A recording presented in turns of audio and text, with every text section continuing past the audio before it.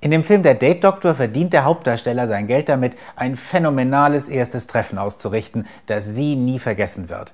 Aber das ist Hollywood und nicht Realität. Im Gegenteil, zu viel Engagement kann die Wirkung erzeugen, sie seien verzweifelt. Mancher fühlt sich nämlich dann überrumpelt.